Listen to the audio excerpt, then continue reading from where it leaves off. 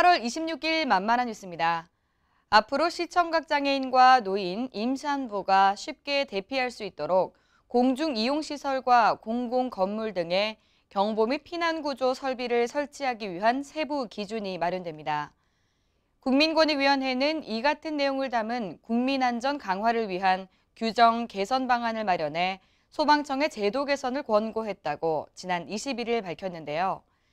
장애인 편의법과 소방시설법 등은 공중이용시설과 공동주택 등의 화재와 같은 위급 상황 발생 시 장애인과 노인, 임산부가 쉽게 대피할 수 있도록 피난구조 설비를 적합하게 설치하도록 규정하고 있습니다.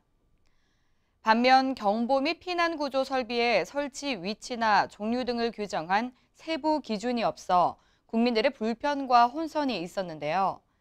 이에 국민권익위는 장애인과 노인, 임산부 등에게 적합한 세부 기준을 소방시설법 시행령에 마련하도록 소방청에 권고했습니다. 이 밖에도 화재가 발생했을 경우 신속히 대처할 수 있도록 옥내 소화전 설비함 안쪽에도 소화전 사용 방법을 부착할 것을 소방청에 권고했습니다. 다음 소식입니다.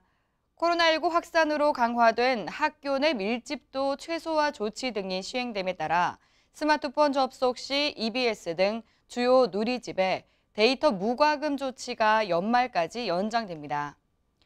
지난 24일 교육부와 과학기술정보통신부는 통신 3사와 협력해 스마트폰으로 접속 시 EBS 등 주요 누리집 데이터 사용량을 차감하지 않는 조치를 연말까지 연장하기로 긴급 결정했는데요.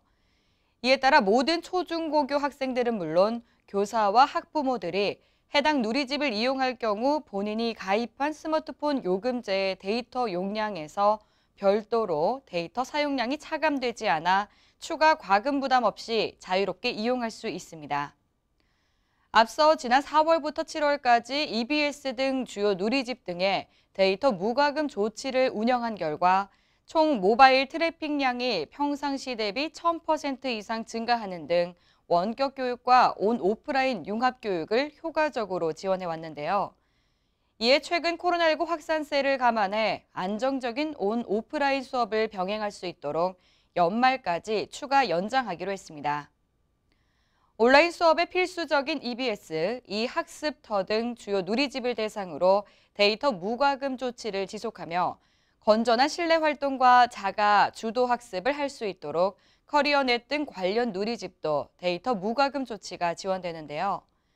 한편 저소득층 초중고교생으로 통신 3사의 이동통신 요금 감면을 받고 있는 학생들은 별도의 신청 절차 없이 졸업 시까지 EBS 등 교육 콘텐츠를 자유롭게 이용토록 할 계획입니다.